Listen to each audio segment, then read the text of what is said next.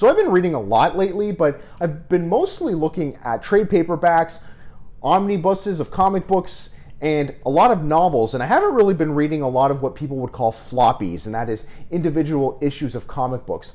I had this bin of comic book back issues that I bought a really long time ago that I kind of totally forgot about. And uh, I'm kind of happy I found them again because um, I do plan to read them eventually. So I just thought I would share with everybody what I found in this backlog bin of comics right here, right now, coming at you. Hello to all my comic book hoarders, Dante D here, and welcome to the channel where we talk about comic books and other geek stuff. I'm sure all of you who are watching this right now can identify with the issue I've been having. You know, you buy a lot of comic books, you're, you're, you're going on this collecting frenzy, and uh, then they end up in a bin somewhere because you just bought so much too much that you can actually read in a timely manner and you kind of maybe forget about them. That is exactly what happened to me. Um, i bought all these comic books and uh, i do plan to read them and you know re, re bag and board them and everything but uh, i thought before i start that that i would kind of show you what i found and if you've been watching the channel for a while some of these books may have appeared in some haul videos that I've done in the past, but I haven't done a haul video in a really, really long time. That's how long it's been since I've purchased any comic books. As some of you probably know, I've said to you many times that I've stopped buying back issues of comics just because I don't really think it's worth it anymore. But I'm happy with the ones that I have and I'm really excited to have them and I'm really excited to share them with you right now. So there are quite a few of them, so I'm not going to spend too much time on each book. I'm just going to kind of run through them and let you know if there's anything uh, that I notice is significant. So here's our first book. This is The Incredible Hulk number uh, 321. I don't think there's anything too significant about this book. If there is, let me know. Um, this is Incredible Hulk number 377. This is a, a classic cover. Uh, absolutely love this cover I'm really, really happy to have it. Next, we have the uh, Incredible Hulk number 411. Again, don't think there's anything too significant about uh, this book here. This is just freaking hilarious. the Incredible Hulk number 417. Uh, it says, please do not tell anyone the shocking secret of the bachelor party. Um, okay. this is going to be an interesting issue, I think. Okay, we have uh, the Uncanny X-Men number 161. Uh, and I think there's also another one here. Yeah, there's the Uncanny X-Men number 162 as well. If I remember correctly, I think this is the issue in which we get a little bit of background about um, Magneto's history as a uh, Holocaust victim. I'm not entirely sure. Uh, if you know, please let me know in the comments. Uh, okay, so and again, this was uh, the next one, Uncanny X-Men number 162. Um, they're just in the same bag together. Uh, next we have Uncanny X-Men number 166. Nothing on the back. Uncanny X-Men number 176. Uncanny X-Men number 187. Uncanny X-Men 186, or sorry, 196 rather. X-Men 223, quite a bit of X-Men here. X-Men 280. X-Men 281. I love this. Um, it's kind of a cool cover. Uh, I think it's Whilce Portacio cover, actually. Um, and uh, it says a mutant milestone, a new team is born. Uh, this definitely is a 90s book from, uh, I can tell by the art and um, everything on the page basically telling you buy this book because it's going to be a collectible. Uh, absolutely love that.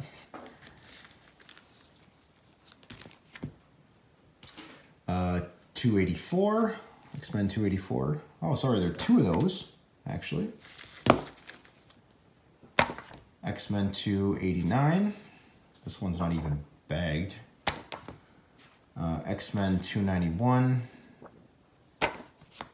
293, 295. Executioner Song. I have to say, uh, I read that run in um, trade paperback form and I did not care for it at all. Uh, I thought it was weak. Just saying, here's another Executioner Song Part 9. The story was just really weird. I know I wasn't a big fan of it. It's kind of bland. Uh, this is a kind of a, here's another 90s cover for sure. Uh, X-Men uh, 300, an X-Men Anniversary Spectacular. If you were buying comics in the 90s, uh, let me know. I was only maybe like four years old when this came out, but um, if, uh, if you were buying comics in the 90s, let me know. Did you think that these holographic covers equaled collectible and worth money in the future? Uh, let me know. Um, they're nice to look at, though, I have to say. Uh, another Executioner song. It's X-Men number 15. Uh, this is the Jim Lee X-Men run. I don't think Jim Jim Lee was off of it by by this point, but uh, I always call it the Jim Lee X-Men. But uh, that's number 31.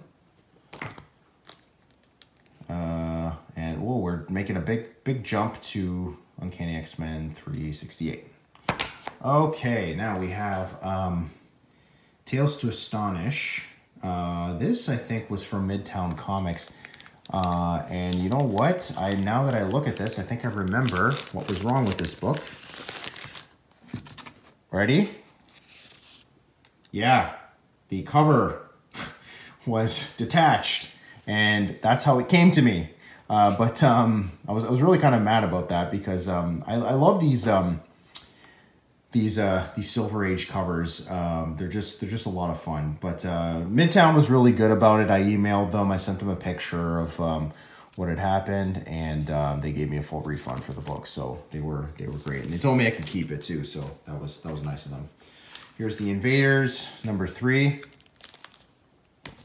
Invaders number four. I think I have the number one and two of this as well. Uh, it's already in my um, my uh, collection.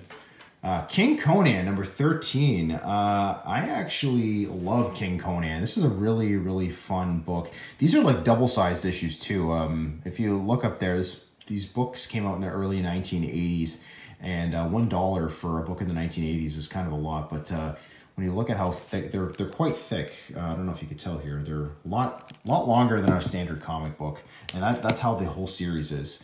Um, i have the number one of this too but i uh, i think i had started reading these and then i just kind of paused and uh, i finished at number 13 but uh, yeah i have one one through uh, one through 12 as well in my collection. Here's 14 15 17 and we have Son of Satan number one. I love Marvel horror. Uh, I've never read Son of Satan, uh, but I'm happy to have this in my collection um, because seven. I love 70s comics the best um, overall. Bronze Age is like Bronze Age is, is where it's at for me. I, I, just I love the art in the Bronze Age and I love um, I love the stories and everything. So I'm really happy to have this in here. Uh, I'll get around to reading it eventually. Son of Satan number two. Wow, cool cover there. Love that cover. Number three. Number four. Number five. And a beat up copy of The Amazing Spider-Man number 88. Um, I, I think it's still like attached and everything and complete. It's just, uh, it's just really, really beat up. Okay, now we're on to Amazing Spider-Man number 89. This is in a little bit better condition.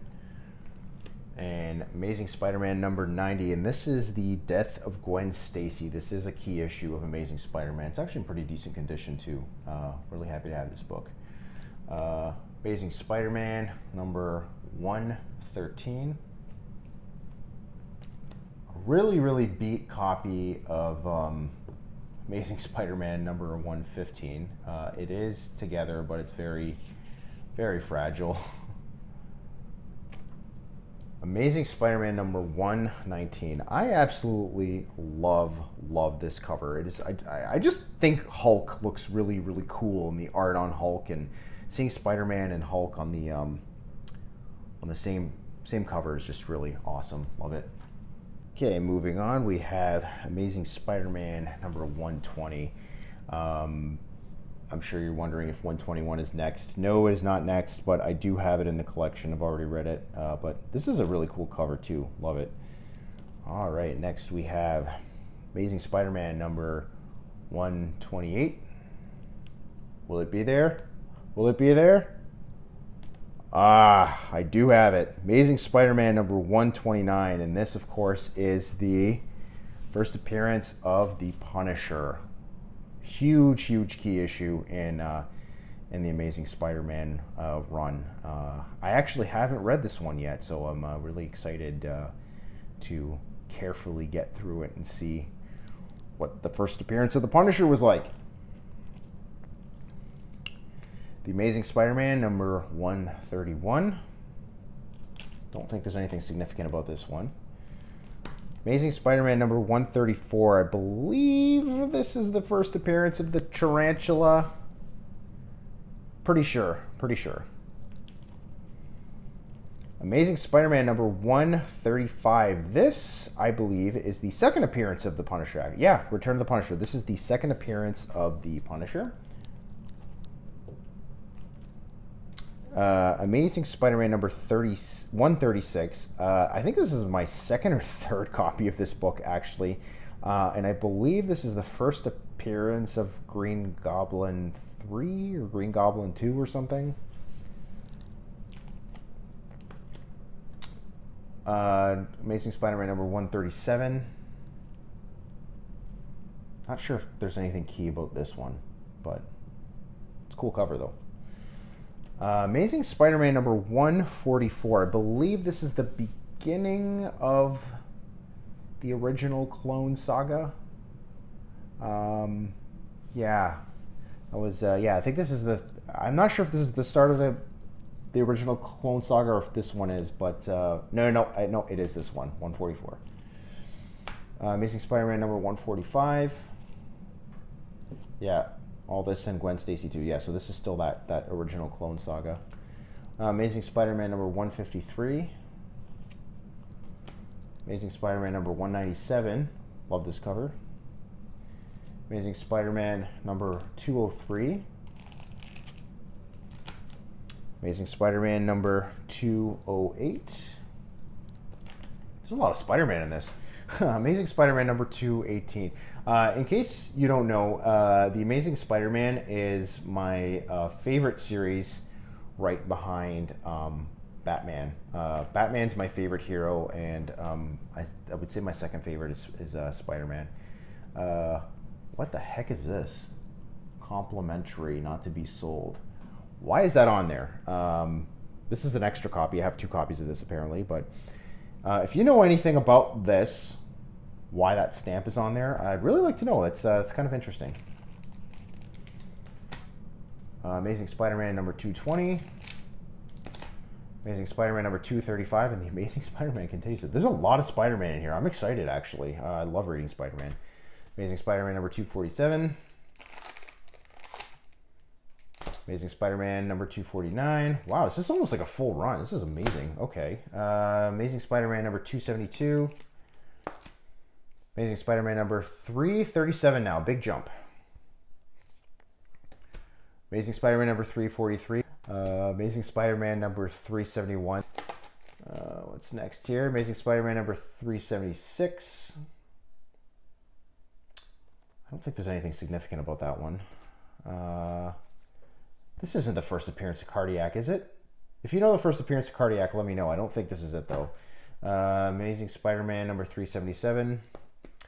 This is Marvel Tales. Uh, this is when they started reprinting um, issues of uh, of Spider-Man. Uh, they're basically just repackaging and reprinting um, some of their earlier stories. Uh, cool cover. I really like this cover. Okay, the Amazing Amazing Spider-Man is done. Uh, now we're at X-O Manowar number one. This is a Valiant book. X-O, X-O Manowar number two. Uh, Manowar number three. Uh, it's only three first three issues of uh, X-O Manowar. Uh, then we have Darkhawk number two. These are all uh, raw. Uh, Darkhawk number three. If you've read Darkhawk, let me know. Um, I think I got these for like, I don't know, 25 cents or something like that. They were really cheap, so I just picked them up. Robocop.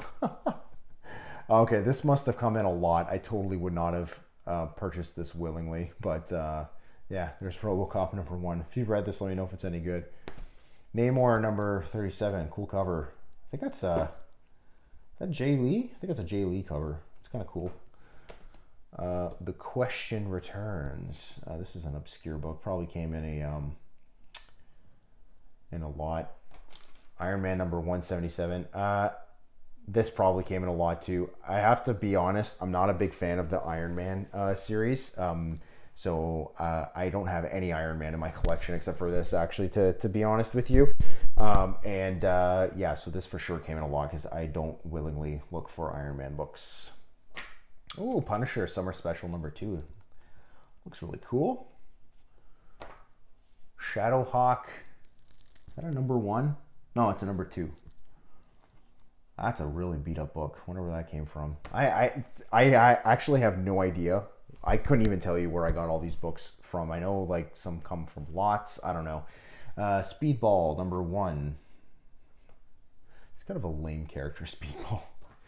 All right, Ka-Zar the Savage, uh, number one. This is uh second or third Ka-Zar series. Can't remember, but uh, I I have the original Ka-Zar series uh, from the mid '70s, I think, and it's like really really good. So I decided to pick up um, the Ka-Zar the Savage run from the 1980s. I, I heard it's pretty good. Um, these are all raw, unfortunately, but uh, I will definitely bag and board them after I've read them. Number two. Whoops. Number that that was number number two. Number three. Number four. These are gonna get harder and harder because they're to stand because they're not bagged and boarded. This is uh, number five. That's a really cool cover. Number six. Number seven. Number eight number 9, 10, 11, 12, 13, 14, 15, 16, 17. I think this is a full run. Did the series get canceled after 17? Let me know if you know. Okay, and randomly I found another issue of X-O Manowar. Um, I actually don't even know why I have X-O Manowar.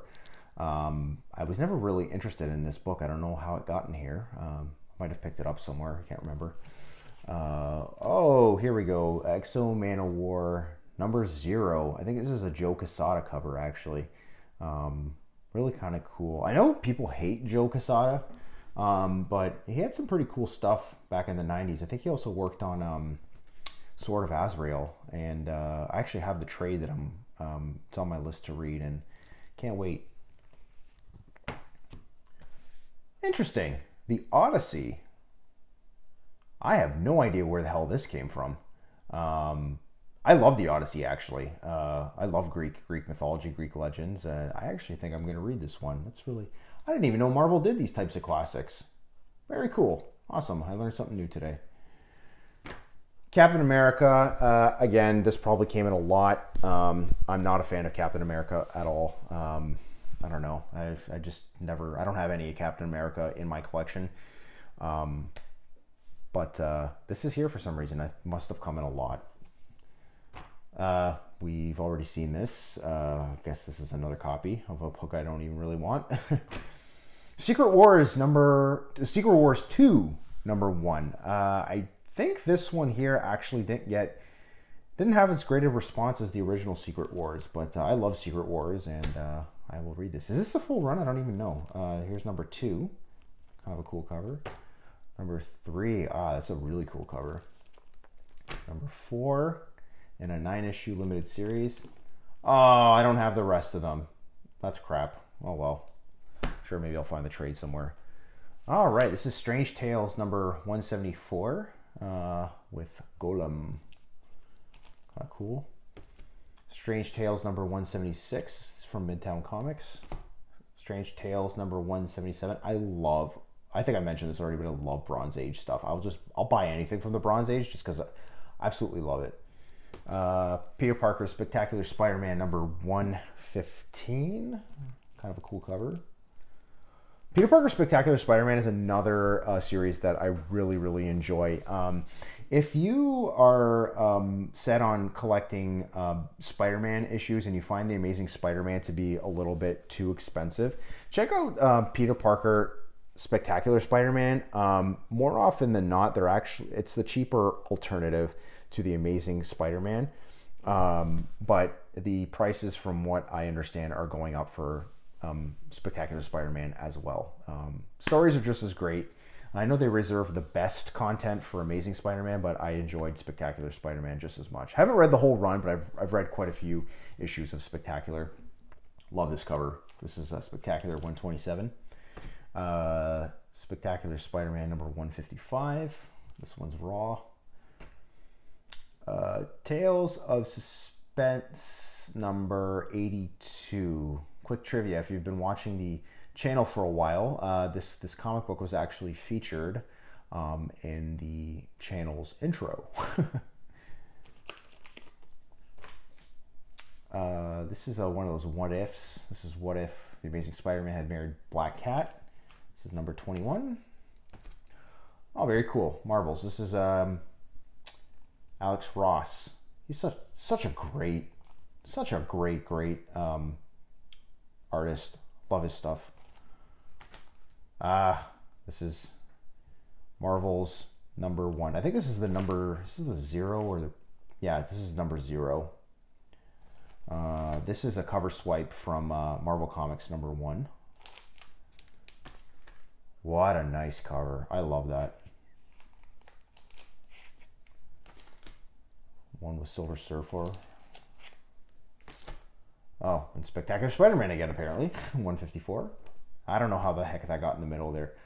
Love this cover with uh, Gwen Stacy and the Green Goblin. Oh, now we're getting into some Batman. Uh, this is uh, Batman number 300.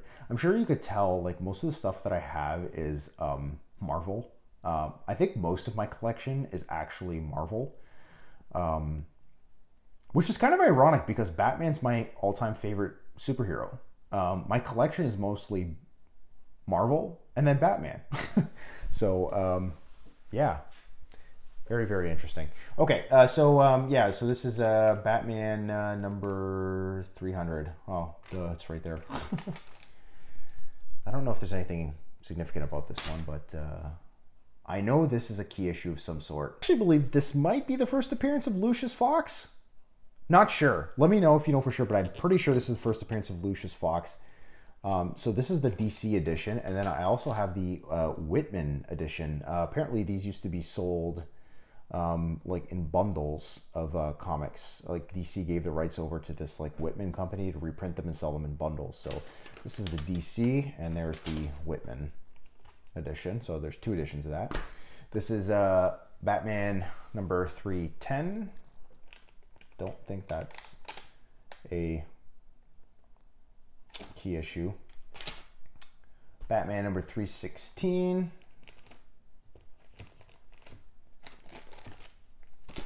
Ah, here we go. Batman 358. This is a this is my second uh, copy of this uh, book, I believe, and I believe this is the first. Um, this is a key issue. It's a uh, first Killer Croc on a cover, but he's um, he's disguised. This is uh, Batman number 320. Don't think there's anything significant about that one. Batman 318. Is this the first Firebug or Firefly? Not not sure. Believe it is though. Oh, another copy of Batman 320. Batman 322. And I actually think the rest of this is uh, is all Batman. Funny enough. Uh, this is Batman number 328. Can't wait to read these. I love Batman stories. Like, I, it's just such a joy to read Batman stories. I, I, I don't think I've ever read a Batman story I don't really like. Um, and Batman was one of those characters that uh, in the '90s actually stayed consistently good. Like, I feel in the '90s, like, you know, quality was really kind of hit or miss, but Batman, like, always never, never failed to impress me. That's Batman 331. Batman 336 on a Batman here. Ah, Batman 357. This is the first appearance of Killer Croc, and I believe it's also the first appearance of Jason Todd, if I'm not mistaken correctly. I'm not really up on my uh, history that well, apparently. Can't really remember a lot of these. So I, I, I remember this book here. I, took me forever to find. I absolutely love, love it. Uh, can't wait to read it. Batman 359, the Killer Croc goodness continues. Batman 379. Batman 384. Is the first calendar? No, I don't think it's the first calendar man. Uh, Batman 385. Batman 386. I know for sure this is the first appearance of the Black Mask. First appearance of Black Mask, for sure. Really cool book. Uh, Batman 387. Batman 388. Love this cover. Batman 389. Batman 390. Batman 391. That's another cool cover. Batman 399 uh, by Doug Moench. He's a he's a great Batman writer. I love Doug Moench. Batman 457. This is one I always get confused with. Uh, this is a key issue. I think it's the whoops. I think this is the first full appearance in the comic book of Tim Drake in a Robin costume. Because the first appearance of Tim Drake in a Robin costume is actually on a cover, but I think in that particular issue, he wasn't he didn't appear as Robin. I think this is his first appearance where of, as Robin. Correct me if I'm wrong. I'm not I'm not too too sure, but something like that anyway. This is uh, Batman 462. Got a cool cover there too. Batman 463. 464. Ooh, some stickiness there. Batman 465. Batman 475. I believe this is a key issue. This, I believe, is the first appearance of the ventriloquist, who's actually a really, really cool cover. Or, sorry, is a very, very cool character. Uh, Batman 490, another cool cover. This is 90s Batman. Um, I, I really, really love 90s Batman. Uh, I actually have the entire Knightfall run. I don't know where this came from, but it's Batman 499. Um, Solomon Grundy, cool cover. Batman 525, more Killer Croc goodness. Batman 524. And now we jump to some New 52 Justice League. Cool. All right. Number one, number two, with awesome art by Jim Lee. Number three, I love Jim Lee's art. It's just so awesome. Number four. Number five. He's really kind of developed his, his style a lot since the 90s, I feel. Uh, number six. And then this is uh, Machine Man. This is the uh, Barry Windsor Smith uh, Machine Man, I think. From the it's a limited series from the '80s, number one to four. It's all packaged together. I think I got this at a con. Uh, not entirely sure, but uh, yeah, they're all in here. I'm not going to take them out, but uh, that's uh, that's it. So that about does it for our video today. Really, really hope that you enjoyed all the comic books that um, I have rediscovered uh, in my house. Uh, let me know in the comments if that's ever happened to you before, where you've purchased all of these comic books and essentially forgot about them and then rediscovered them and were like really excited about it. Until next time, this is Dante D signing off. I will see you all in the next episode.